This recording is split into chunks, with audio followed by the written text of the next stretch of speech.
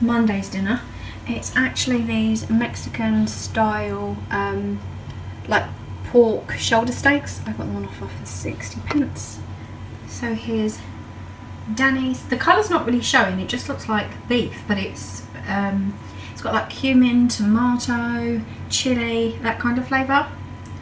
Mine, Cameron's, Liam's, and Little It's Tuesday, it's actually New Year's Eve, so I did make chicken soup. This is a huge pot here. Um, but we've also got friends coming over, so I have buffet food, party food. There's pizzas in here, and I do still have some pizzas in the freezer, but that's just to start us. Um, and then Sherry always brings sausage rolls, so there's plenty. It's Wednesday, happy New Year's Day. So for dinner tonight, um, we're just having leftovers from yesterday. We had a lot of food. Um, so for lunch, the boys had what we had for party food last night. And then for dinner, we're having the remainder of the soup. So this is Danny's, mine, Cameron's, Liam's, and Ollie's. Thursday's dinner, Danny's actually on late so he's not home for dinner. Me and the boys are going to have these lamb meatballs. I'm unsure whether to have them in a gravy or a red sauce. So I did decide to go with the gravy option and we're going to be having mint sauce with it. So here's mine, Cameron's, Liam's and Ollie's. Friday's dinner, I got these chicken bites from Morrison's. They were 13 pence. So usually when I make my sweet and sour, I cook and bread up chicken breast.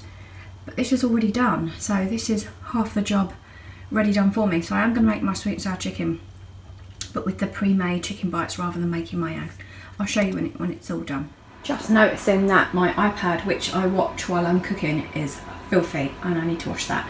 Um, even though Danny's not home for dinner, I'm still cooking the same amounts and that way I can make up care packages for him to then take to work when he's on lates. So this is mine, Cameron's, Liam's and Ollie's. Saturday's dinner, I done chicken curry. The chicken shredded because it was the breast that I got from Morrison's. So as I cooked them back up, they um, they shredded, but it'll taste gorgeous nonetheless. So it's the Caribbean mild curry one, there's creamed coconut in it. I do have vegetable samosas and pakoras. So this is Danny's, mine, Cameron's, Liam's and Little Ollie's.